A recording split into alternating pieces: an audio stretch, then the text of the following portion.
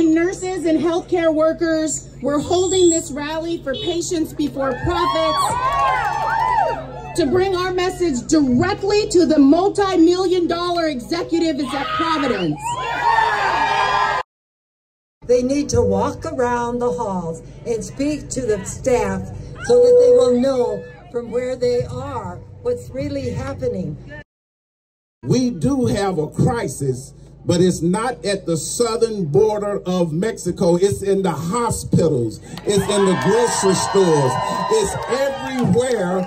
Everyday people get up every morning and give it their best to make somebody else's life better. You are valuable. We have bargained in good faith. We've held rallies. We have picketed. We have done everything to get the message across. I'm here to tell you that the WSNA nurses at Sacred Heart are ready to do whatever it takes for however long it takes. Together, we are stronger! We have the ability to put so much pressure on this corporate elite that's more about profit than people and win this battle. This is our time to stand up together and show Providence. We are no longer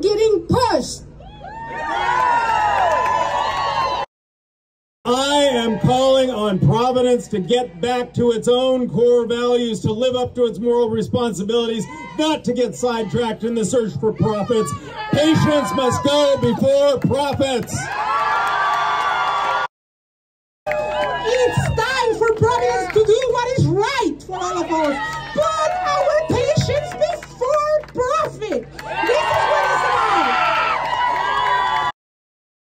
They start living under the programs they set up for us and say that's what we should be getting? How about we start demanding they live like they say we should live? At United we bargain, divided we beg. You guys, it's not our perspective, it's reality. We need Pro Providence to negotiate with us for great health care and better staffing for our patients at, at all our hospitals across Washington.